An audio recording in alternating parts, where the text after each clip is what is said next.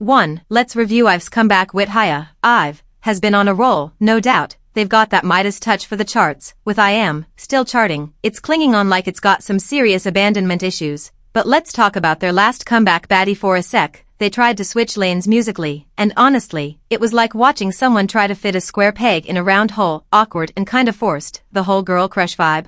Been there, done that, got the t-shirt, now, new comeback Heya is strutting in, trying to marry baddie-s hip-hop vibes with something that's supposed to be more melodically meaty. And who do they bring to the mix? Dem Joints, one of NCT's producers, his fingerprints are all over this track, and it's like he brought a sledgehammer to the percussion section. But then there's the elephant in the room, the no diggity sample. It's like they're trying to serve us 90s realness on a silver platter, but it ends up feeling like reheated leftovers. The chorus is having an identity crisis. Is it an anthem or just a wannabe? It's like they're stuck in a loop of should we, shouldn't we, and it's not doing them any favors. But hey, it's not all doom and gloom. When Ive gets gutsy with that pre-chorus switch up, it's like they hit their stride, that's the Ive. We want to see more of the back and forth in the verses is catchy, sure, but it's dragging its feet with that slow-mo beat. It's like the song's itching to break into a sprint but forgot how to tie its shoelaces, so, what's the verdict on Heya? It's middle of the pack, better than Baddie, but still lagging behind the bangers we know they can deliver. It's like they're playing it safe when they should be doubling down on the wild card that made us all sit up and listen in the first place. 2. Hybe and Min Hee-jin don't give a crap.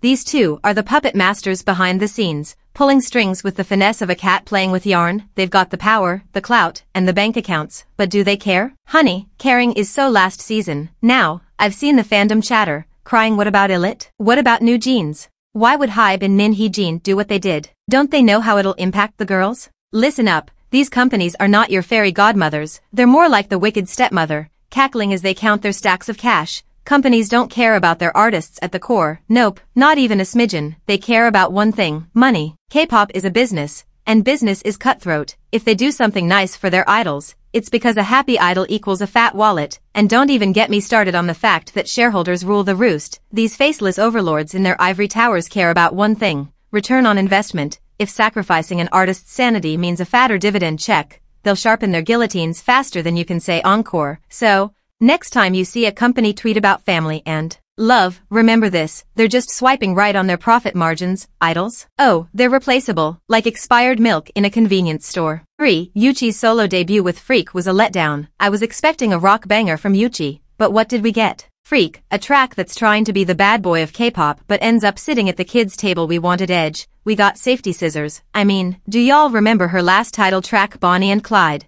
The anthem that set the bar sky high. Fast forward to Freak, and it's like expecting a dragon but getting a gecko. Sure, it's got a bit of that rock vibe, but it's wrapped up in so much plastic, it's practically recyclable. Reviewing K-pop is usually a lyrical blind date. It's all about the sound, but throw in too much English, and suddenly it's like tripping over your own feet. Freak is guilty as charged. It's like it wants to be the rebel yell, but it ends up being a rebel whisper. Yuqi's looking for a certified freak, but honey, those trap beats and whispered guitars ain't fooling anyone, and that voice of hers, rich and raspy, deserves more than a half-baked hook. Freak is like (G)I-DLE's wild child that never really got wild. It's all dressed up with nowhere to go. Selling us a rebellion that's been focus grouped to death. It's got the punk look down, but where's the fire? Where's the fury? Just crickets. 4. Let's review Zico's collab with Jennie, Spot. It's been a hot minute since we've had fresh beats from Zico or Blackpink, so this collab has got everyone's ears perked up. Hybe are playing 4D chess here, trying to slide this track into the chaos of Min Hee-jin like a smooth criminal. But let's face it, the current Hybe drama is more gripping than a season finale cliffhanger, no easy feat to overshadow. Now, onto the track spot. Those teasers had us bracing for impact with that ear-piercing siren synth that's like a fire alarm at 3 a.m. Nobody's a fan, thankfully. The full song isn't just an onslaught of that noise. Instead,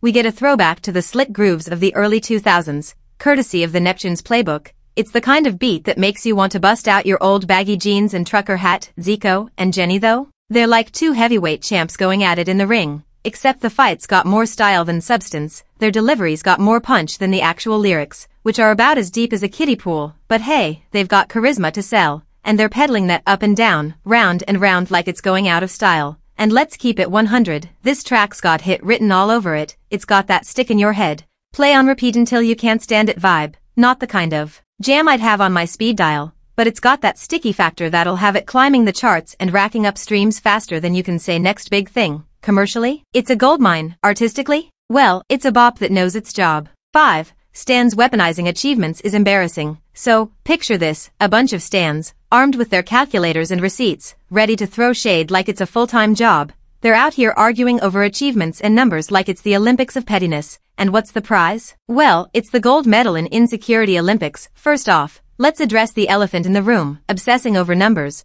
These folks act like they're auditing the Federal Reserve, dissecting every digit like it holds the secrets of the universe. But guess what? It's not about appreciation, it's about sweating bullets because they're scared their faves won't measure up. Now, let's talk about those 24-hour MV views. Imagine the panic when another group snatches a measly 10 extra views, the drama, the horror. They're clutching their pearls, fearing that some rival fandom will slap those views on a PowerPoint presentation and present it like a Nobel Prize. But wait, there's more. Ad views. These Stans are like forensic accountants, dissecting MV metrics like it's a crime scene. Oh, look, 30% ad views. My faves are basically Beyonce. No, sweetie, they're just afraid that other groups are pulling off more ad-less views than a budget Netflix subscription. And don't get me started on the sales by Country Saga, apparently. If your faves sell like hotcakes in Uzbekistan, it's irrelevant. Girl please. These stands are so insecure that they dismiss a country's sales faster than a Tinder swipe left. Like girl, K-pop is not the Hunger Games arena. 6. The way Zico introduced Boy Next Door was smart. When it comes to 5th gen, we have groups that went all out with their grand reveals, like ZEROBASEONE, Baby Monster, and Illit,